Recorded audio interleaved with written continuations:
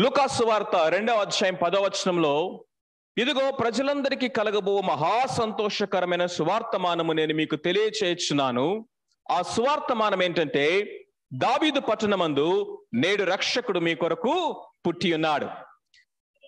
ఈయనే ప్రభు అయిన క్రీస్తు. Okay so good news. శుభవార్త మాత్రమే కాదది మహా సంతోషకరమైనటువంటి సువార్తమానం అని తెలియచేయబడింది. డిఎల్ మూడి అనేటువంటి దైవజనుడు ఏమనంటే మానవ చరిత్రలో ప్రపంచంలో ఇంతవరకు కూడా మానవుడికి అందించబడినటువంటి అతి శ్రేష్టమైనటువంటి గుడ్ న్యూస్ ఏదైనా ఉంది అంటే అది ఇదే. ఇంతకంటే గొప్ప గుడ్ న్యూస్ అనేది మానవుడికి ఇక ఎవరు కూడా అందించలేరని చెప్పారు. ఆ యొక్క న్యూస్ ఎక్కడి నుండి అంటే పరలోకము నుండి. ఎవరు అందించారంటే దేవదూతలు మానవునికి వర్తమానాన్ని తీసుకుని వచ్చారు. అయితే గుడ్ సజెషన్ అనే దానికి గుడ్ న్యూస్ అనే దానికి తేడా ఉంది. ఈ లోకంలో చాలా మంది గుడ్ సజెషన్స్ ఇస్తారు. గుడ్ సజెషన్స్ ఎలా ఉంటాయంటే smoking is injurious to health good suggestion so కానీ ఇక్కడ ఆశ్చర్యం ఏంటో తెలుసా? ఆ చైన్ స్మోకర్గా ఉండి కంటిన్యూస్గా సిగరెట్ తాగే వాడి చేతిలో ఉన్నటువంటి ఆ సిగరెట్ పెట్టి మీద నువ్వు సిగరెట్ తాగితే పోతావు అని రాస్తుంది. కానీ పోయినా పర్వాలేదు నేను తాగుతానంటాడు వీడు. ఆల్కహాల్ కన్జంప్షన్ అనేది నీ ఆరోగ్యానికి మంచిది కాదు అని మనం ఎక్కడ చూసిన యాడ్స్ చూస్తాము. ఈవెన్ మనం సినిమా హాల్లోకి వెళ్ళగానే ఫస్ట్ పడేది అదే. స్మోకింగ్ ఆల్కహాల్ లేకపోతే ఇంకొకటి ఇంకొకటి. కానీ ఈ దినాల్లో మానవుని యొక్క పరిస్థితి కనుక మనం చూసినట్లయితే I know this is a good suggestion but my condition is I can but drink I can but smoke I can't but consume ఇది నేను తీసుకోకుండా ఉండలేను. ఇది తాగకుండా నేను ఉండలేను. ఇది చేయకుండా నేను ఉండలేను అనేది ఇది నా మానవుని యొక్క పరిస్థితి. లోకంలో గుడ్ సజెషన్స్ ఉన్నాయి. సూక్తులు ఉన్నాయి. మంచి మాటలు ఉన్నాయి. ఒక మంచి మాట ఒక గుడ్ సజెషన్ ఒక వ్యక్తిని మార్చలేనటువంటి పరిస్థితి. దేవుడు గుడ్ సజెషన్స్ని ఈ లోకానికి పంపించలేదండి. గుడ్ న్యూస్ని తీసుకొని వచ్చాడు. గుడ్ న్యూస్ అంటే అర్థం కొన్ని ఎగ్జాంపుల్స్ మళ్ళీ చెప్తాను వినండి. ఉరి శిక్ష పడినటువంటి వ్యక్తి అక్కడ నిలబడ్డాడు. వారి తలకి ఉరితాడు బిగించారు. ఆల్మోస్ట్ ఇక ఆ లీవర్ని పుల్ చేయడానికి కమాండ్ ఇస్తున్నటువంటి టైంలో సడన్గా పరిగెత్తుకుని ఒకడు వచ్చి కవర్ని ఆ జైలర్ చేతిలో పెట్టాడు. ఆ కవర్ను ఓపెన్ చేస్తే ఏమనుందంటే ఇదిగో వీడికి నేను క్షమాభిక్ష పెడుతున్నానని రాష్ట్రపతి లేకపోతే సుప్రీం కోర్టు యొక్క చీఫ్ జస్టిస్ అతనికి ఒక ఉత్తరాన్ని పంపించాడు. అప్పుడు దాన్ని ఏమంటారు తెలుసా? గుడ్ న్యూస్ అంటారు. గుడ్ సజెషన్ కాదది. ఉరికంబం మీద నిలబడి ఒక్క క్షణంలో చనిపోయేవాడికి నీకు క్షమాపణ ఇవ్వబడింది అనేది ఏంటంటే తెలుసా? Good news great good news exams results వచ్చినాయి. బోర్డులో ఆ యొక్క పేపర్స్ అన్ని అంటించారు. స్టూడెంట్స్ పరిగెత్తుకుంటూ వెళ్ళి నా పేరు లిస్ట్లో ఉందా లేదని చూసి చెక్ చేసుకుంటున్నారు కొంతమంది ముఖాలు వెలిగిపోతున్నాయి. కొంతమంది ముఖాలు ముడుచుకుపోయినాయి. ఎందుకు ముడుచుకుపోయినాయి? పేరు లేదు. వన్ వీక్ అయిన తర్వాత మరలా ఒక న్యూస్ పేపర్లో కానీ టీవీలో కానీ వచ్చింది. ఏంటంటే ఎవరైతే ఫెయిల్ అయిపోయారో వారికి గవర్నమెంట్ గ్రేస్ మార్క్స్ యాడ్ చేసి వాళ్ళని పాస్ చేస్తా ఉంది అని. ఎగ్జామ్ రాయక ముందు చదువుకోరా లేకపోతే ఫెయిల్ అయిపోతావు అనేది గుడ్ సజెషన్ అసలు ఆల్రెడీ ఫెయిల్ అయిపోయి కూర్చున్న వాడికి గ్రేస్ మార్క్స్ యాడ్ అయిని నువ్వు పాస్ లిస్ట్లోకి వెళ్ళావు అనేది గుడ్ న్యూస్ గుడ్ న్యూస్ ఈ లోకంలో ఈ యొక్క రోగానికి మందే లేదు. ఆ రోగముతో అనేక మంది చనిపోతున్నారు అన్నటువంటి కండిషన్లో ఇదిగో దానికి మందు కనుక్కున్నారు. వ్యాక్సిన్ వచ్చింది అనేటటువంటి వార్త ఇట్స్ అ గుడ్ న్యూస్ దేవుడి లోకానికి పంపించినటువంటి శుభవర్తమానము ప్రజలందరికీ కలగబోయే శుభవర్తమానం. మీరు చాలా మంది చదువుకున్న వాళ్ళు ఉన్నారు ఒకసారి నన్ను ఆపి హలో సార్ ఒకసారి ఆగండి మీరు హైదరాబాద్ వచ్చి మా దగ్గర భలే చెప్తున్నారు. మీరు ముందేమో ప్రజలందరికీ అని చెప్పారు. మీరు చెప్పే ఎగ్జాంపుల్స్ చూస్తే ఆ ఉరికంబ మీద ఉన్న వాడికే కదా గుడ్ న్యూస్ అది. మిగతా వాళ్ళకి ఎవరికి కాదు కదా. ఫెయిల్ అయిన వాళ్ళకే కదా గుడ్ న్యూస్ అది. పాస్ అయిన వాళ్ళకి కాదు కదా. రోగం వచ్చిన వాళ్ళకే కదా. పర్టికులర్ డిసీజ్ ఉన్న వాళ్ళకే కదా గుడ్ న్యూస్ అందరికీ కాదు కదా. మరి మీరు చెప్పే గుడ్ న్యూస్ అనేది ప్రజలందరికీ కలగబోయేటటువంటి సంతోషకరమైనటువంటి వర్తమానం అంటున్నారు. ఏంటి సార్ అది అని మీరు అడిగినట్లయితే సి ద లాజిక్ ఒకసారి మన కామన్ సెన్స్తో ఆలోచన చేసినట్లయితే ప్రజలందరికీ గనక ఏదన్నా ఒక సమస్య గనక ఉన్నట్లయితే ఎవరూ తీర్చలేనటువంటి సమస్య అయితే ఆ పరిస్థితిలో ఉన్నటువంటి వాడి ప్రతి మానవుడి యొక్క సమస్యను తీర్చే వార్త ఏదన్నా ఉంది అంటే అదే ప్రజలందరికీ కలగబోయేటటువంటి మహాసంతోషకరమైనటువంటి స్వర్తమానము. So now the question is what is the universal problem of mankind ఈరోజు నేను మీకు చాలా ప్రశ్నలకు ఆన్సర్ చెప్తాను. My message is full of questions and answers first question is what is the problem of all ప్రజలందరి యొక్క సమస్య ఏంటి? యూనివర్సల్ ప్రాబ్లం ఏంటి? ఒక ఆయన చాలా చక్కగా రాశాడు.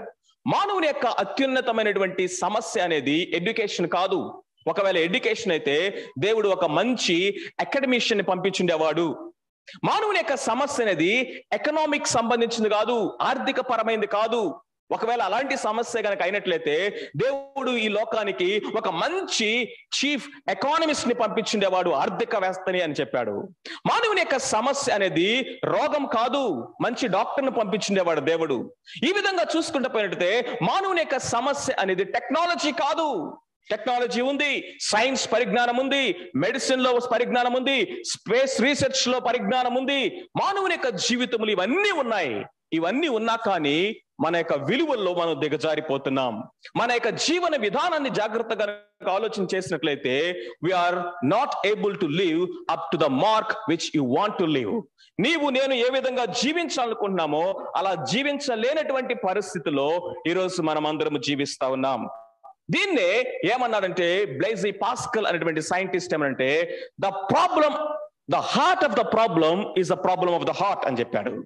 The very heart of the problem is the problem of the heart అంటే మానవుని యొక్క సమస్యలో ఉన్నటువంటి అసలు మూలమైన సమస్య ఏంటి అంటే మానవునితోనే సమస్య అన్నాడు.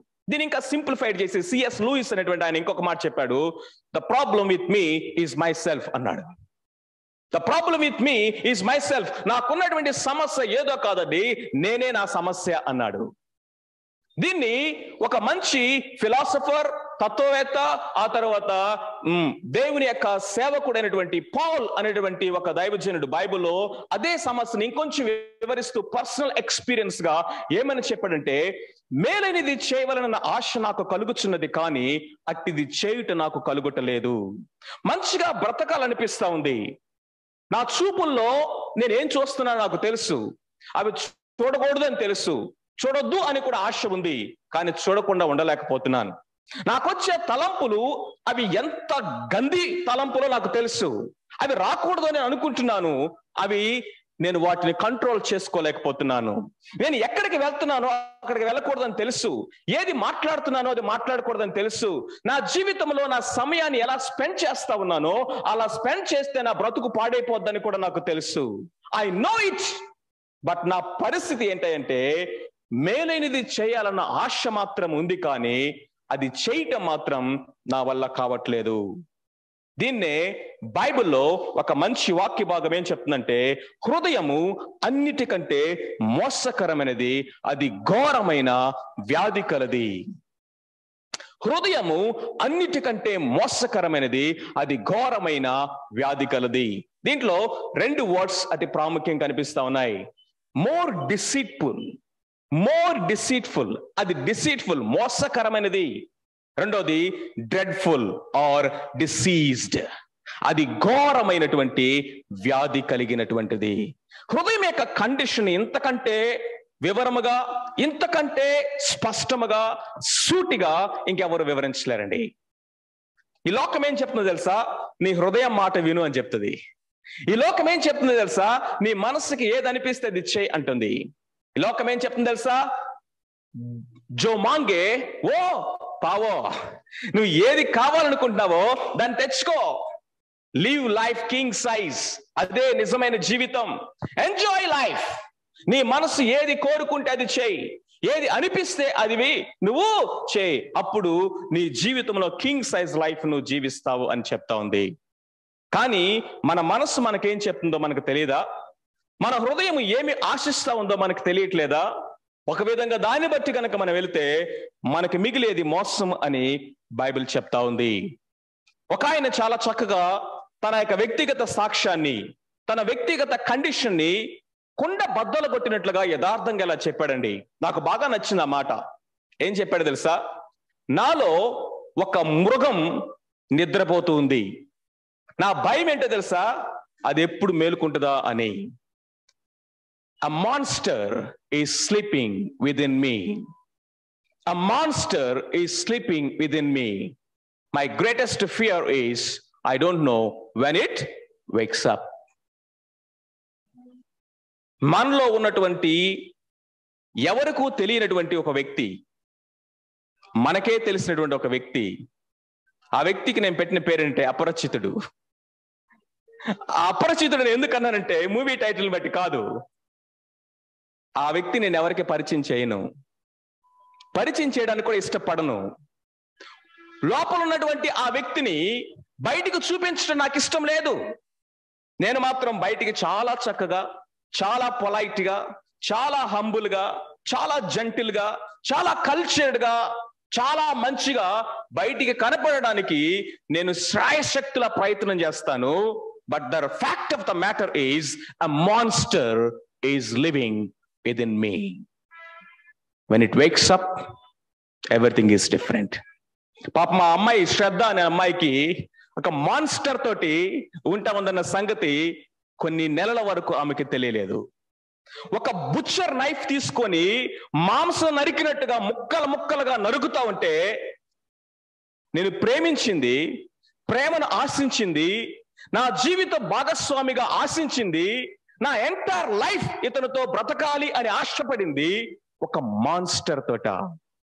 బట్ అవుట్లుక్లో గనక మనం చూసినట్లయితే he was portrayed himself as the best boy friend my friends I'm talking the ground realities of life let us be open hearted to think about this fact దీన్నే బైబుల్ ఏం చెప్తుందంటే ద నేచర్ ఆఫ్ సిన్. పాప స్వభావము. పాపం అనేది ఎప్పుడు కూడా కేవలము క్రియల వల్ల కలిగింది కాదు. రవి జక్రయాస్ అనేటువంటి ఒక మంచి స్కాలర్ ఏమన్నాడంటే మనం పాపం చేశాం కాబట్టి పాపులం కాలేదు పాపులము కాబట్టే పాపం చేస్తున్నాము అన్నాడు. Because we commit sin we didn't become sinners because we are sinners we commit sin అది మన యొక్క స్వభావము. మనలో ఉన్నటువంటి ఆ యొక్క స్వభావాన్ని బట్టి మన యొక్క జీవితంలో మనము అవి చేస్తా ఉన్నాం. పాపం అంటే ఏంటి అని మీరు అడగొచ్చు. దాన్ని కొంచెం మాకు వివరించండి సార్ అని మీరు చెప్పొచ్చు. I just give you few examples give your attention please పాపం అనేదాన్ని ఈ యొక్క పరిశుద్ధ గ్రంథం ఏ విధంగా మనకి వివరిస్తా ఉంది మనం అర్థం చేసుకోవడానికంటే పాపం అనేది మనల్ని కాల్చివేసే అగ్ని లాంటిదట. ఒడిలో అగ్ని వేసుకుంటే అది నిన్ను కాల్చదా అని దేవుడు ప్రశ్నిస్తా ఉన్నాడు. ఆ ప్రశ్నలో నీ దగ్గర నుంచి ఆన్సర్ ఎక్స్పెక్ట్ చేయట్లేదు. ఆ ప్రశ్నే ఆన్సర్ చెప్తా ఉంది. రెటారికల్ క్వశ్చన్ అంటారు. వడిలో అగ్ని వేసుకుంటే అది నేను కాల్చదా? అంటే అర్థమేంటి తెలుసా? అది ఖచ్చితంగా మనల్ని కాల్ చేస్తుందని అందరికీ తెలుసు. చాలా సార్లు మనం చేసేటటువంటి ప్రయత్నాలన్నీ కూడా కప్పి పెట్టుకోవడానికి చేసే ప్రయత్నాలన్నీ ఎలాంటివో తెలుసా? మనం తెలిసి చేసినా తెలియక చేయక చేసినా కానీ మన ఒడిలో మన ల్యాప్ ఫుల్గా నిప్పు కణికలు పోసుకొని దాని మీద చక్కగా ఒక బ్లాంకెట్ దుప్పట కప్పేసి all is well all is well everything is well అని చెప్పుకుంటున్నాం. విత్ ఇన్ నో టైం అదేమవుతుంది? దట్స్ వాట్ ఇట్ మీన్స్ ఒడిలో అగ్ని వేసుకుంటే అది నిన్ను కాల్చదా? పాపం అనేది మనల్ని దహించి వేసే అగ్ని లాంటిది. పాపం అనేది కట్లపాము విషము లాంటిదట. ఒక పాము కోరల్లో ఉన్నటువంటి విషం అనేది బాడీలోకి వెళ్తే ఏ విధంగా అది మన యొక్క బాడీలో ఉన్నటువంటి ప్రతి కణాన్ని కణాన్ని అది చంపేస్తుందో మనల్ని కంప్లీట్ ప్యారలైజ్ చేసేస్తుందో పాపం అనేది మన యొక్క జీవితంలో అలాంటి ఎఫెక్ట్ తీసుకొస్తా ఉంది. పాపం అనేది చెరగని ముద్ర లాంటిదట. అది సబ్బుతో కడిగినను విస్తారమైనటువంటి యాసిడ్ క్షారముతో కడిగినను ఆ మరక మరకలాగానే కనిపిస్తా ఉంది అంటున్నాడు. ఈ మరక శరీరానికి అంటుకుంది కాదు. సోప్తో కడిగేయడానికి షర్ట్ కంటుకున్నది కాదు డ్రై క్లీనింగ్ చేయడానికి ఈ మరక మనస్సుకు అంటుకున్నది ఈ మనస్సుకు అంటుకున్నటువంటి మరకలని దేంతో కడుగుతావు నువ్వు? అది ఎవరికి కనపడకపోయినా నీ కనిపిస్తా ఉంది. నీ కళ్ళ ముందు అది కనిపిస్తా ఉంది. కింగ్ డేవిడ్ అంటున్నాడు నా పాపము నా కళ్ళ ముందు కనిపిస్తా ఉంది. ఒక సినిమా లాగా ఒక స్క్రీన్ మీద కనపడినట్టుగా కళ్ళు మూసుకుంటే నేను రహస్యముగా చేసింది నా కళ్ళ ముందు కనిపిస్తా ఉంది. ఎవరికి తెలియనటువంటిది నాకు నిద్ర పట్టనీయకుండా చేస్తా ఉంది. పాపం అనేదట తీర్చలేని రుణము లాంటిదట.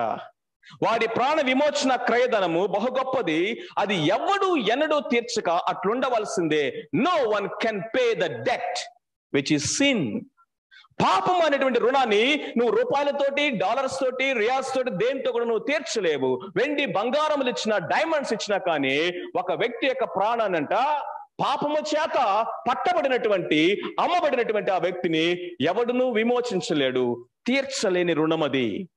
పాపం అనేది మోయలేని భారమట.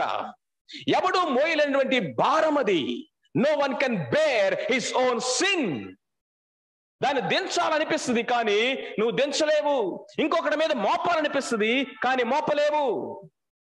ఈ పాపం వలన మన జీవితంలోకి వచ్చేటువంటి మొట్టమొదటి కాన్సిక్వెన్స్ ఏంటంటే గిల్ట్ అపరాధ భావము. ఒక ఆయన చాలా చక్కగా రాస్తాడండి. పాపం అనేదంట ముందు అందంగా కనిపిస్తుందట ఆ తర్వాత అగ్లీగా మారుతుందట.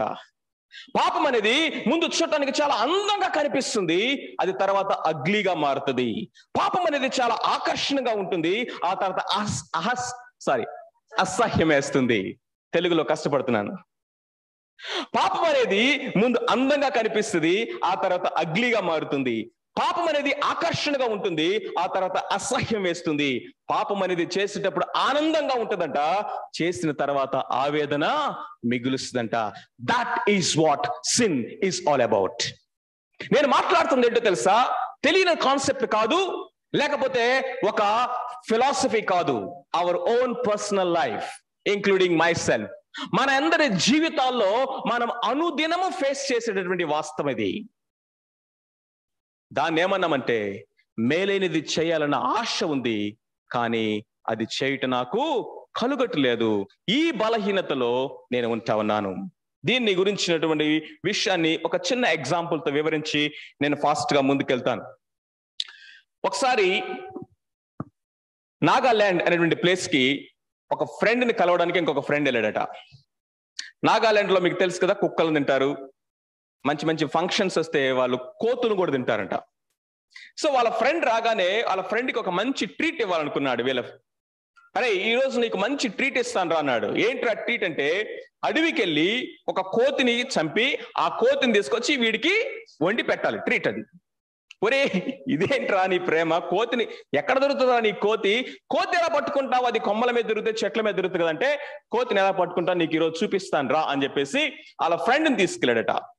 ఏం చేశారంటే కొన్ని శనక్కాయలు తీసుకెళ్ళాడు వేరు శనక్కాయలు పల్లీలు అంటారు కదా వేరు శనక్కాయలు కొన్ని తీసుకెళ్ళాడు ఒక చిన్న ముంత తీసుకెళ్ళాడు ఆ తర్వాత చేతిలో ఒక కర్ర పట్టుకున్నాడు. పద ఈ రోజు కోతిని ఎలా పట్టుకోవాలో చూపిస్తానడట. చెట్టు మీద కోతి కనపడింది. వెంటనే అది చూస్తూ ఉండగా ఆ ముంత అక్కడ పెట్టి దాంట్లో చెనక్కాయలు పోసాడు దాని యొక్క పైన ఉన్నటువంటి ఆ యొక్క మూత ఆ మూతి అనేది అంటే ఓపెనింగ్ అనేది చాలా నేరోగా ఉండేటటువంటి ముంత తీసుకున్నాడు. సో వెళ్ళాడు దాంట్లో అవి పెట్టాడంట చెట్టు చాటుకెళ్ళి దాక్కున్నాడు. వెంటనే ఆ కోతి చూసింది పరుగు పరుగున కిందకు వచ్చింది ఆత్రంగా ఆ చెనక్కాయలని నాకే కావాలన్నట్లుగా ఆ చేతి నిండగా గట్టిగా పట్టుకొని ఇప్పుడు పైకి అంటుంటే చేయి రావట్లేదంట. ఆ చేయి దాంట్లో ఇరుక్కుపోయింది. చేయి బయటికి లాగుతుంది ట్రై చేస్తుంది కానీ చేయి రావట్లేదు. అయితే ఇదే రైట్ టైం పద అని చెప్పేసి చేతుల కర్ర తీసుకుని పరిగెత్తుకుంటూ వచ్చి దాని తల మీద గట్టిగా కొట్టంట టాప్ మని చచ్చిపోయిందంట. కోతి యొక్క బలహీనత ఇది అని చెప్పాడట. ఈ స్టోరీ విన్నప్పుడు నాకు ఒక్కసారిగా షాక్ అనిపించింది. ఎందుకో తెలుసా? మానవుడి యొక్క పరిస్థితి కూడా అదే. మనం ఏదైతే అంతా నాకే కావాలి అని ఆత్రంగా పట్టుకుంటామో అదే మరణానికి మనల్ని అప్పగిస్తుందని కూడా తెలుసు. ఆడ కర్ర పట్టుకుని వస్తున్నాడని కోతి చూస్తుంది. వస్తే తల మీద కొడతాడని వాడికి దానికి తెలుసు. కొడితే చచ్చిపోతాడని కూడా దానికి తెలుసు. చెయ్యి ఒక్కసారి అట్లా వదిలేస్తే మరుక్షణం మీద చెట్టు మీద ఉండి తన ప్రాణాన్ని కాపాడుకోగలదని కూడా తనకు తెలుసు. కానీ ఆ కోత అంటుంది చెనక్కాయలు లేని చ- బ్రతికెందుకు? బ్రతికితే చెనక్కాయలు తిని బ్రతకాలి. చస్తే చెనక్కాయలతోనే చస్తాను నేను. చెనక్కాయలు మాత్రం నేను విడిచిపెట్టేది లేదు అంటుందండి ఈరోజు మన యొక్క జీవితాన్ని ఆలోచించండి. నువ్వు పట్టుకున్న ఆ చెనక్కాయలేంటో నీకు తెలీదా? విడిచిపెట్టకుండా పట్టుకున్నటువంటి ఆ చెనక్కాయలేంటో నీకు తెలీదా? అది నిన్ను నీ జీవితాన్ని నీ స్టడీస్ని నీ కెరియర్ని నీ లైఫ్ని ఇంకా నీ క్యారెక్టర్ను కూడా డిటోరియేట్ చేస్తుందని నీకు తెలియదా కానీ దాన్ని వదిలే సామర్థ్యం మాత్రం మనకి రావట్లేదు. The good news of Christmas ఏంటో తెలుసా? Why Christ came this world ఎందుకు యేసు క్రీస్తు ప్రభారి లోకానికి వచ్చాడు? ఈ క్రిస్మస్లో ఉన్నటువంటి గుడ్ న్యూస్ ఏంటో తెలుసా? ఆ పాపం యొక్క పట్టు నుంచి నిన్ను విడిపించడానికే యేసు క్రీస్తు ప్రభారి లోకానికి వచ్చాడు. అందుకనే ఆయన ఈ లోకానికి వచ్చేటప్పుడు దేవదూతలు చెప్పినటువంటి మాట ఏంటో తెలుసా? తన ప్రజలను వారి పాపముల నుండి ఆయనే రక్షించను. తన ప్రజలను వారి పాపముల నుండి ఆయనే రక్షించను. ఆ జిగట గల దొంగ ఊబిలో నుంచి ఆయనే పైకెత్తుతాడు. ఆ నాశనకరమైన గుంటలో నుంచి ఆయనే పైకెత్తుతాడు. The fact of the matter for the whole humanity we are all in that deceitful miry clay and deadly pit ఆ మరణకరమైన గుంటలో ఉన్నాం నాశనకరమైనటువంటి గుంటలోను ఆ ఊబిలో మోసకరమైన ఊబిలో మనం నిస్సహాయ స్థితిలో కేకలేస్తా ఉన్నాం. ఊబిలో పడిన వాడు ఎవడైనా తనంతటి తను బయటకు వస్తాడా he can't come out of his own strength ఎంత ప్రయత్నం చేసినా కానీ బయటికి రాలేడు. Someone has to pull him out అందుకనే దేవుడు ఈ లోకానికి దిగి వచ్చాడు. దేవుడు లోకముని ఎంతో ప్రేమించాను. దేవుడి లోకాన్ని ఎంత ప్రేమించాడంటే తన అద్వితీయ కుమారుని మన కొరకు మరణానికి అప్పగించినంతగా సిలువ మరణమునకు అప్పగించినంతగా ఆయన నిన్ను నన్ను మనల్ని ప్రేమించాడు. I have only two stories I will tell that stories and I conclude ఒక తండ్రికి ఇద్దరు కుమారులు ఉన్నారట. వారిలో చిన్న కుమారుడు అన్నాడు నా ఆస్తిని నాకు ఇచ్చేసే నేను మా ఫ్రెండ్స్ తోటి వెళ్ళి మా బిజినెస్ చేస్తాను మంచి ధనవంతుడిని అయిపోతాను అని చెప్పేసి వాళ్ళ డాడీ తోటి చాలా గొడవ పడ్డాడు. వాళ్ళ నాన్నగారు ఎంత ప్రేమించి తనని వారించినా కానీ వినలేదు. ఇస్తావా? లేకపోతే కోర్టులో కేసు వేయమంటావా? అన్నట్లుగా అడిగేశాడు. సరే వాళ్ళ డాడీ తనకు రావాల్సిన ఆస్తిని తనకి ఇచ్చేశాడు. తన స్నేహితులతో కలిసి దూరదేశం వెళ్ళాడు. దుర్వ్యాపారం చేశాడు. అంతా పోగొట్టుకున్నాడు. విత్ ఇన్ నో టైం ఆ దేశంలో గొప్ప కరువు వచ్చినట. గొప్ప కరువు రాగానే అతడి యొక్క పరిస్థితి ఎంత దయనీయంగా అయిపోయిందంటే స్నేహితులు విడిచిపెట్టేశారు ఒంటరివాడు అయిపోయాడు చేతిలో చిల్లిగవ్వలేదు ఆకలి అనేది తన జీవితంలో మొట్టమొదటిసారిగా అనుభవిస్తా ఉన్నాడు ఇప్పుడు తినటానికి ఆహారం లేదు. ఎవరి దగ్గరికి వెళ్ళినా కానీ తనని స్వీకరించే వాళ్ళు పట్టించుకునేవాడు ఎవడు లేడు. మేబీ కొన్ని వారాలు అట్లా ఆకలితో తట్టుకోలేక తను ఒక వ్యక్తి దగ్గరికి వెళ్ళి సార్ నాకు ఏదైనా పని ఇప్పించండి. అన్నం పెడితే చాలు. నాకు జీతం కూడా వద్దు సార్. కొంచెం అన్నం పెట్టేటటువంటి పని ఏదైనా ఇవ్వనంటే ఆయన ఏం చేశాడు సార్ పందులు ఉన్నాయి నా దగ్గర పందులు మేపో అన్నాడు. ప్రిన్స్ ఇప్పుడు ఏం మేపుతున్నాడు? పందులు మేపుతున్నాడు. పందులు మేపి ఇంటికి వచ్చాడు సాయంత్రం. కనీసము వాళ్ళు తిన్న తర్వాత మిగిలిందన్నా నాకు పడేస్తాడేమంటే అది కూడా పెట్టట్లే వాడు. నేను అనుకుంటాను ఒకటి రెండు రోజులు ఎదురు చూసి ఎదురు చూసి వాళ్ళు తినిన తర్వాత మిగిలింది కూడా వాడి మొఖాన పడలేదు ఇక తన యొక్క మనస్సాక్షిని చంపుకొని ఆకలిని తట్టుకోలేక వాళ్ళ యజమానుడు పందులకి అన్నం పెడితే ఆ పందులు తినే అన్నం తిని తన యొక్క పొట్ట నింపుకోవడానికి ట్రై చేశాడు.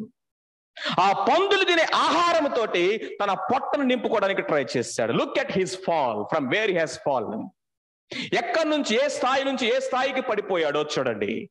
ఆ పందులు తినే పట్టుదు నోట్లో పెట్టుకోవడానికి రెడీ అయినప్పుడు తనకు బుద్ధి వచ్చను.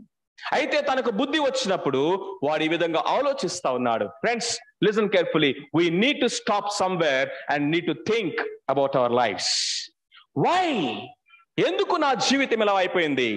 నాకు చాలా మంది స్టూడెంట్స్ తెలుసు హైదరాబాద్లో కానీ ఇంకా మిగిలిన ప్లేసెస్లో నేను స్టూడెంట్స్తో మాట్లాడుతూ ఉంటాను. వాళ్ళ ఇంటర్మీడియట్లో కనుక మనం చూసినట్లయితే వాళ్ళకి నైన్టీ నైన్టీ ఫైవ్ పర్సెంటేజ్ ఇంజనీరింగ్లో కనుక మనం చూసినట్లయితే పన్నెండు సబ్జెక్టులు పద్నాలుగు సబ్జెక్టులు కారణం ఏంటి? టెన్త్ క్లాస్ వరకు మన వాడిని కనుక చూసినట్లయితే ఈ ఊర్లో ఇంతకంటే మంచి బాలుడు ఉండనే ఉండడు అని చెప్పేసి అందరూ సర్టిఫికేట్ వేసి ముద్రేసేసారు ఊరు ఊరంతా. అబ్బాయి కంటే మంచి అమ్మాయి తల దించిందంటే అమ్మో ఎంత పద్ధతి ఎంత గౌరవం. ఒక్కసారిగా కాలేజీకి రాగానే ఆ రెక్కలొచ్చిన పక్షులు ఏ విధంగా ఓహో మా ప్రపంచం ఇది మా లోకం ఇది ఫ్రీడమ్ కావాలి freedom is good always. But abusing of freedom leads always to the slavery. Freedom is always good. But if if you abuse that freedom misuse that freedom it will leads you to the slavery బానిసత్వంలో అది నేను నడిపిస్తుంది. ఒక చిన్న example చెప్పి నేను ముందుకెళ్ళేస్తాను. ఇప్పుడు మనకి వరల్డ్ కప్ జరుగుతుంది కదా? ఏ world cup FIFA world cup ఒక ఫుట్బాల్ వరల్డ్ కప్ మీరు ఎక్కడన్నా సరే గోల్ పోస్ట్ లేనటువంటి ఫుట్బాల్ గేమ్ చూసారా? గోల్ పోస్ట్ లేదు కానీ అందరూ ఫుట్బాల్ గేమ్ ఆడుతున్నారు. ఇప్పుడు ప్రశ్న ఏంటి? ఎక్కడ దంతే వాడికి పాయింట్ ఇవ్వాలి. గోల్ పోస్ట్ లేనటువంటి ఫుట్బాల్ గేమ్ ఎక్కడన్నా ఉంటుందా? ఇప్పుడు నేను అంటాను ఏ నువ్వెవడే గోల్ పోస్ట్ పెట్టి ఇక్కడే తన్నమంటావు? నేను ఎక్కడే తంతాను నా ఇష్టం. It's my life my style my freedom మూడు వికెట్లు ఎందుకు పెట్టాలి? నేను పది పెడతాను. ఆరు బాల్ ఎందుకు అయ్యాలి నేను పది బాల్ వేస్తాను. పన్నెండు పదకొండు మంది ఎందుకు ఉండాలి? ఇరవై మంది ఉంటాం మేము. ఏంటి తాడు పెట్టావు ఇక్కడ? తాడు తీసేయండి. ఏమవుద్దండి? క్రికెట్ అలాంటి క్రికెట్ మ్యాచ్ ఎవడన్నా చూస్తాడా అసలు ఈయనేంటి టోపీ పెట్టుకొని ఉంచున్నాడు ఇక్కడ ఎంపైర్? ఈడి మాట ఎందుకు మనం అనుకుంటాం హద్దులు చెరిపేయటం అనేది లేకపోతే మనకి ఇవ్వబడినటువంటి ఆ యొక్క సరిహద్దులని బార్డర్స్ని ప్రిన్సిపల్స్ని రూల్స్ని బ్రేక్ చేయటం అనేది స్వాతంత్రం అనుకుంటాం. కానీ సెన్సిబుల్గా మనం ఆలోచన చేస్తే ట్రాఫిక్ రూల్స్ లేనటువంటి డ్రైవింగ్ ఎంత ప్రమాదకరమో ఒకసారి ఊహించండి. బట్ ట్రాఫిక్ రూల్స్ ఫాలో అవుతూ ఎవడో కూడా నేను బానిసగా ఉన్నాను వీడి రూల్స్కి కట్టుబడి నడుపుతున్నాను నాకు స్వాతంత్రం లేదు అని ఎవడు అనుకోడు. But everyone when when they are following the rules they will be enjoying freedom in driving freedom in living likewise దేవుడు మన జీవితానికి కొన్ని హద్దులని నియమించాడు. దేవుడే నియమించాడు ఆ హద్దుల్ని. ఆ హద్దుల్ని దాటటం అనేది యవ్వనము ఆ హద్దుల్ని దాటటం అనేది ఎంజాయ్మెంట్ ఆ హద్దుల్ని దాటటం అనేది లైఫ్లో ఎగ్జైట్మెంట్ అనుకుంటే అది చాలా చాలా చాలా ప్రమాదకరం. ఈ యవనస్తుడు ఈ చిన్న కుమారుడు అదే పని చేశాడు.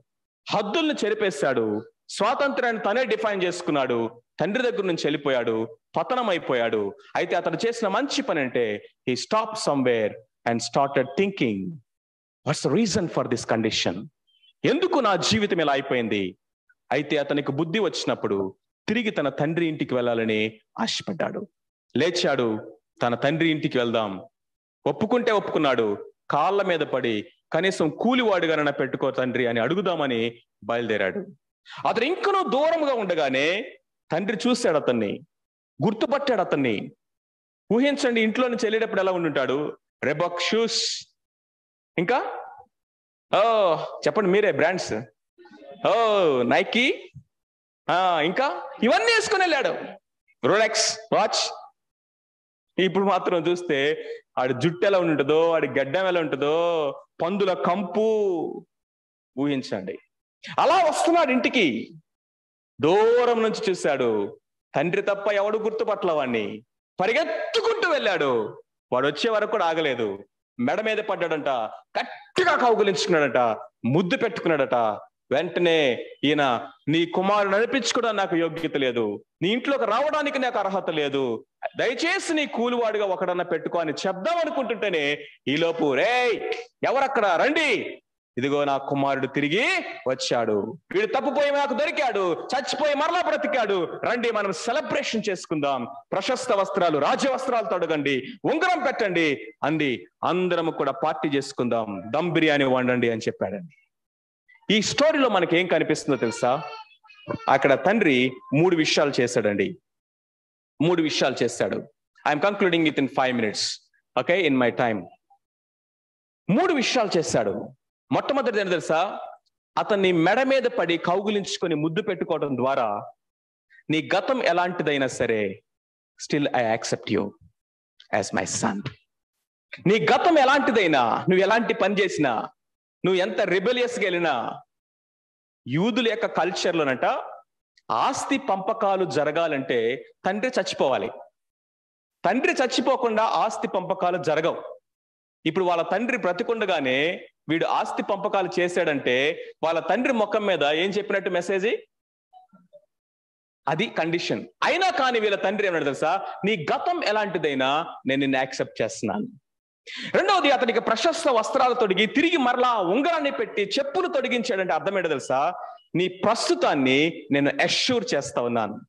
I'm accepting your past I'm assuring your presence ఈ ప్రజెంట్ లైఫ్లో నిన్ను బానిసగా అంగీకరించట్లా. కూలివాడిగా అంగీకరించట్లా? కుమారుడిగానే స్వీకరిస్తా ఉన్నాను.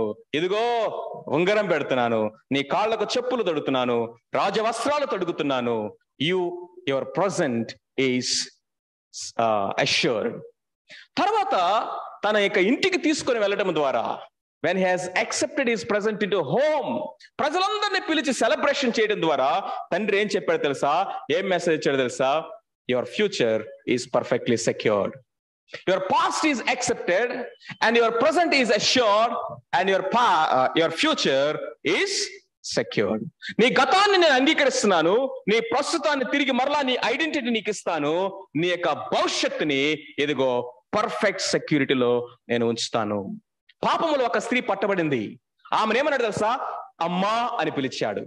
అమ్మా అని పిలవడం ద్వారా నువ్వు గతములు ఎంత ఘోరమైన పాపి కావచ్చు. ఐ డోంట్ కేర్ అమ్మా కుమారుడా కుమార్తె my dear son my dear daughter and that identity no one can take you off ఇదిగో ఇందాక ఒక స్కిట్ చూసాం అక్కడ ఆ యొక్క అన్న చివరి నిమిషంలో కూడా ఏమన్నాడు? తమ్ముడు తమ్ముడు తమ్ముడు అంటున్నాడే కానీ ఇంకొక మాట ఉపయోగించలేకపోయాడు. వాడు ఎలాంటోడైనా సరే నరహంతకుడైనా సరే తమ్ముడే. వాడు తప్పిపోయినోడైనా సరే కుమారుడే.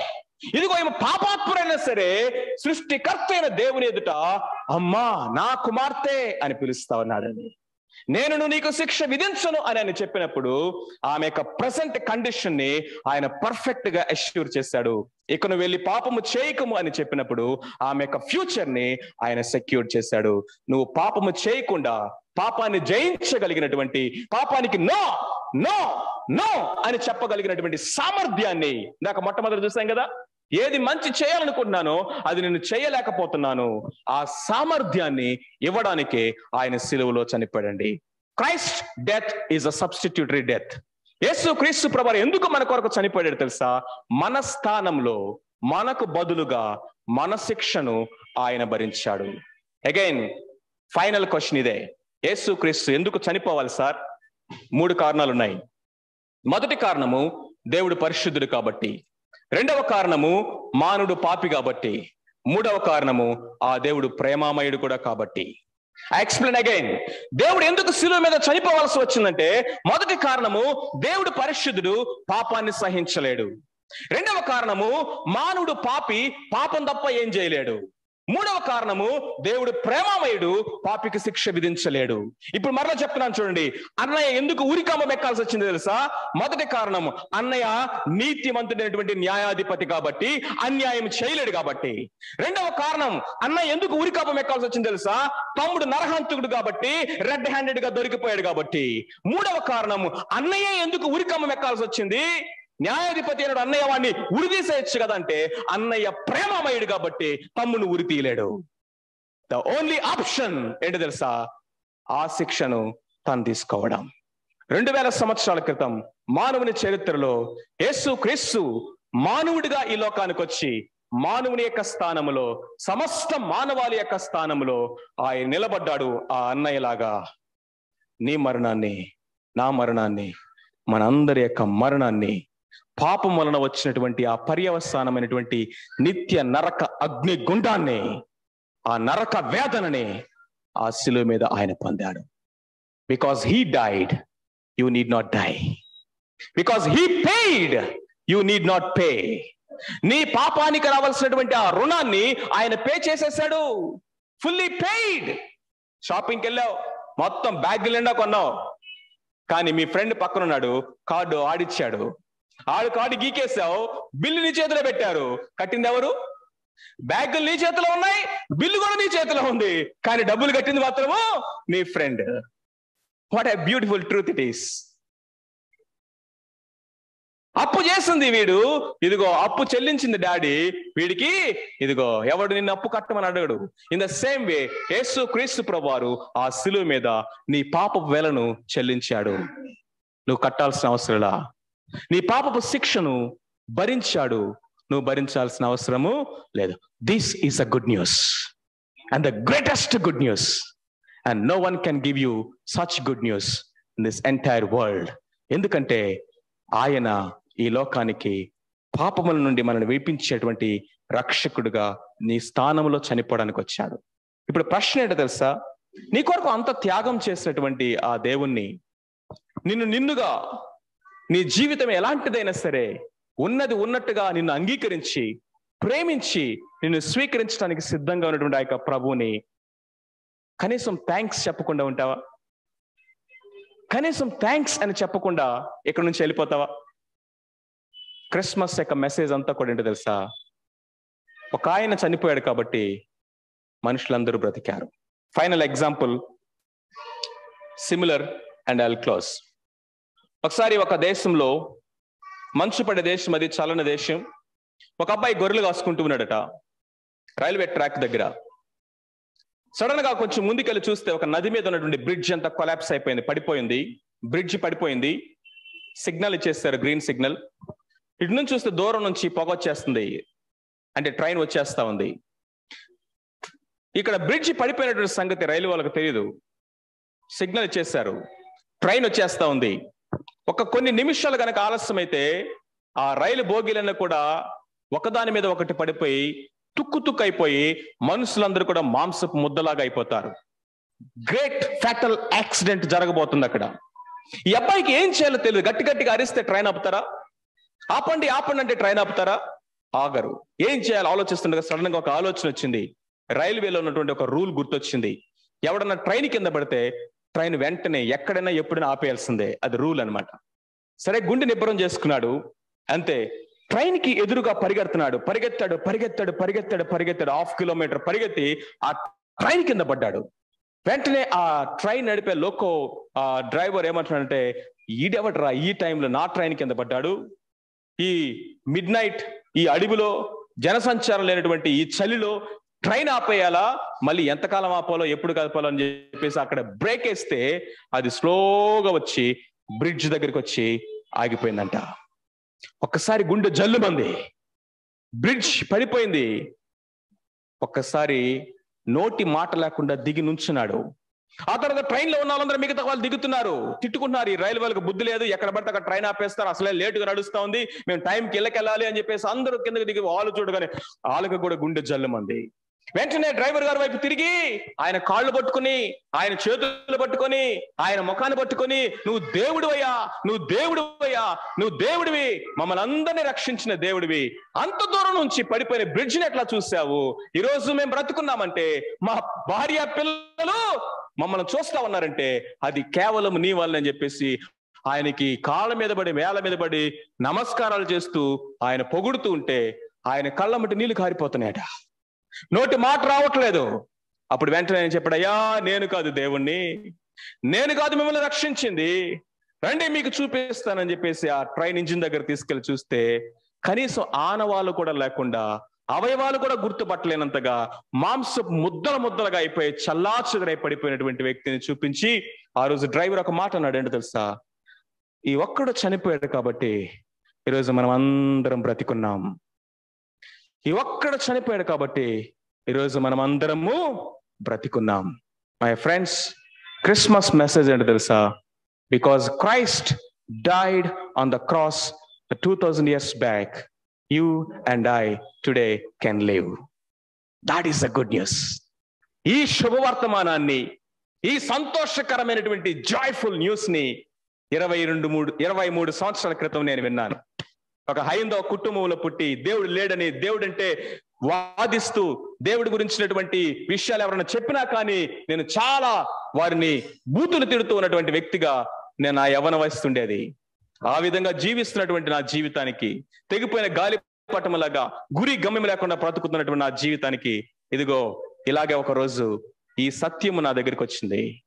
నా కోసం సృష్టికర్త అయిన దేవుడు సిలువు మీద చనిపోయాడని. చిన్న ప్రార్థన చేశాను. నా బ్రతుకుని నేను మార్చుకోలేకపోతున్నాను. మా తల్లిదండ్రులు మార్చలేకపోయారు. నా స్నేహితులు మార్చలేకపోయారు. నువ్వు బ్రతుకులను జీవితాలు మారుస్తావంట. నాకు సహాయం చేయగలవా? Today I accept you my dear friends that prayer that moment turn my life and today what I'm am to here is because of that day, that small prayer. And now the opportunity is at your.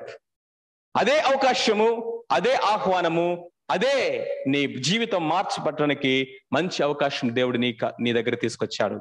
Will you respond for that